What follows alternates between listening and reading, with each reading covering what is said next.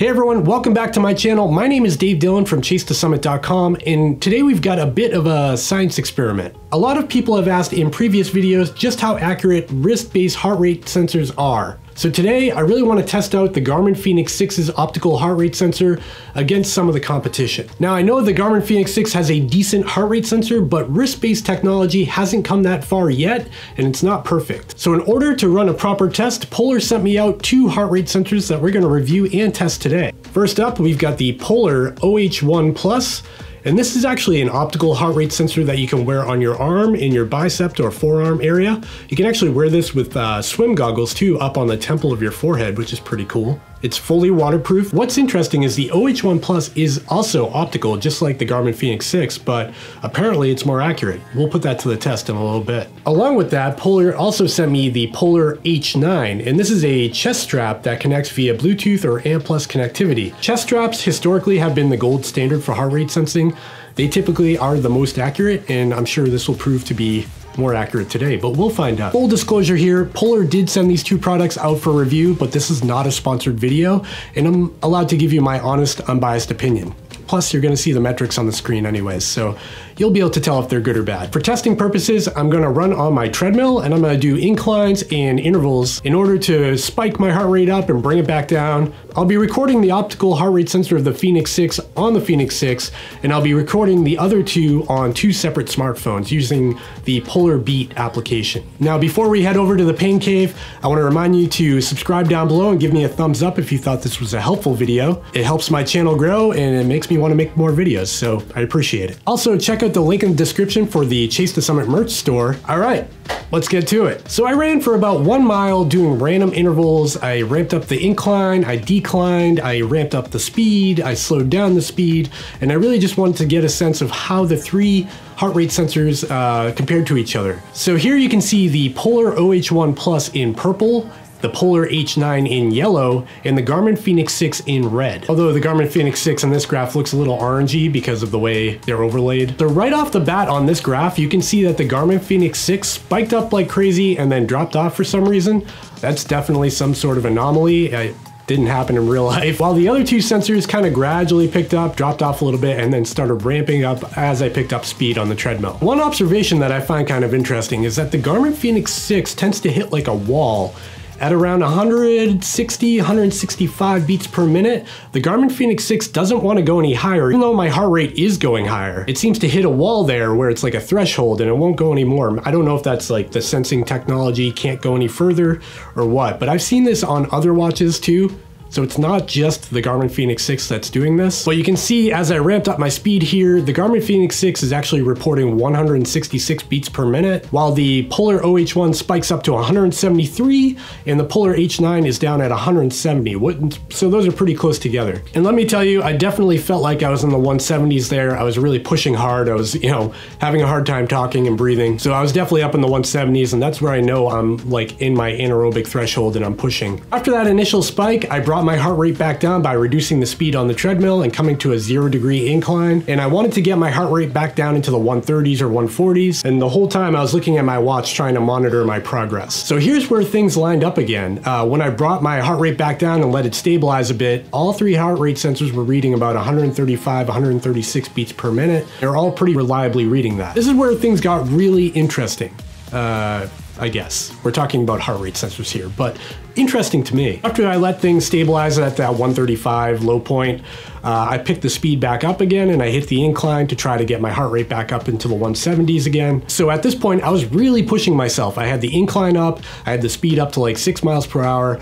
Uh, so I was really hurting. I was definitely in the pain cave at that point. And you can see that the Polar H9 is reporting about 176 beats per minute. The Polar OH1 Plus is somewhere in the middle here. It's showing about 163, 165 beats per minute. I found that kind of interesting. And then the Garmin Fenix 6 struggling here, again hitting that threshold wall where it won't go any further for some reason. And the Garmin Fenix 6 is sticking around 145 to 150 beats per minute. And let me tell you, That is wildly inaccurate. That is not even close to the uh, effort I was at there, so that kind of sucks.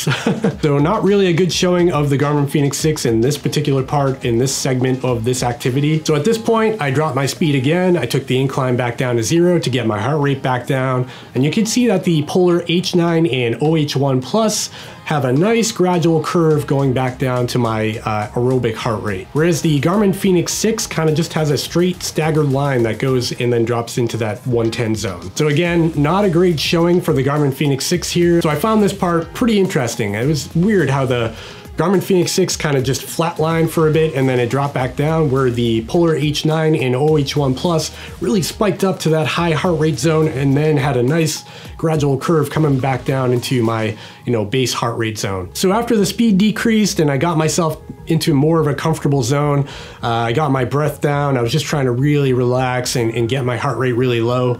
Uh, you can see here that the Polar H9 and OH1 Plus stabilize at around 110, 115 beats per minute, and that feels pretty accurate. Where the Garmin Fenix 6 has way less resolution in its recording, uh, it's a little bit juddery, and it's definitely not stabilized like the other two have. It shows heart rates as low as 105, and it peaks up to about 115, so it's really just targeting a zone rather than a specific number. So again, for one last hurrah, I took the uh, incline back up on the treadmill and I sped up again to boost that heart rate back into the 150s. This time I didn't want to hit like my maximum effort level. I wanted to be at like 80%. So my heart rate would be in that, you know, lactate threshold zone, like 150 to 170. And this last spike was interesting because all three had a pretty good showing. You can see as my speed increased, the Garmin Fenix 6 stayed right in line with the Polar H9 and OH1 Plus. So this last spike was pretty interesting. All three heart rate sensors did a pretty good job here. The Garmin Fenix 6 stayed right in line with the uh, Polar H9 and OH1 Plus. They all had a nice gradual ramp up to a peak and a plateau at around 165 beats per minute. And again, that feels pretty accurate to the effort level I was at there. I wasn't at like my 100% go, but I was trying pretty hard. And again, once I hit that peak, I dropped my incline back down to 0% and I dropped my speed to 2 miles per hour to bring my heart rate back down again. And again, all three perform pretty well here. You can see that the Garmin Fenix 6 is consistently staying in line with the Polar H9 and the OH1 Plus, which is pretty interesting. I mean, yeah, the Garmin Fenix 6 does have a little bit more blips in the road here, but it's a lot more accurate than it was in the middle of the run. All right, so what's my takeaway here after all this testing? Um, this is a relatively small sample size, right? This was a one mile run on my treadmill for ideal conditions. Um, but what I can say is that the Garmin Fenix 6 can be really good but it's not always really good. And even though this is a small sample size, uh, this is something I've been seeing a lot. I've been wearing all three of these heart rate sensors on a lot of runs, not just this one treadmill run. And the numbers here are pretty consistent with what I'm seeing on every activity. The Garmin Fenix 6 just isn't as reliable as the other two forms of heart rate measurement. And it's important to remember this isn't just an issue with the Garmin Fenix 6, it's any watch with an optical heart rate sensor, even like this Coros Apex Pro that I have here. And that's not to say that that the risk based technology is bad, it's just not perfect. So for a lot of people, the wrist-based heart rate sensor is ideal, right? Uh, it'll give you a good baseline of your fitness. It'll give you a good baseline of your effort level on a given run or activity. You'll be able to tell if you're in your uh, lactate threshold or you're approaching uh, the anaerobic state or any of that stuff, but it's not going to give you super detailed metrics after the fact.